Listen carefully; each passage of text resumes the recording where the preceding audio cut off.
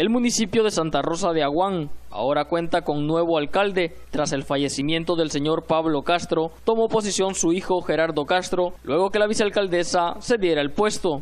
Con mucho entusiasmo y con muchos deseos de querer trabajar para nuestro, para nuestro municipio, con muchas obras y proyectos que, tenemos programados para este municipio. Tenemos mucho, tenemos, tenemos electrificación en el municipio, en, lo que es la playa municipal de Santa Rosa de Aguán, eh, eh, segunda planta del, malecón turístico de, Santa Rosa, desde la barra de Aguán, y tenemos reparación de calles principales, secundarias, terciarias de lo que es la comunidad, y tenemos cajas puentes por, terminar. Hay varios proyectos que tenemos que, terminar, que quedaron comenzados de mi, sagrado, de mi sagrado padre Pablo Castro González, que Dios lo tenga en su santa gloria.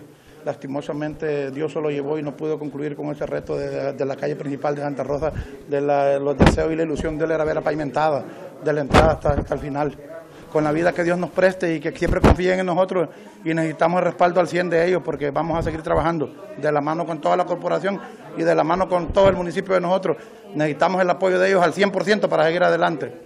Porque cuando de noticias se trata, Canal 6 siempre es primero. Desde el departamento de Colón les informó Junior Rodríguez.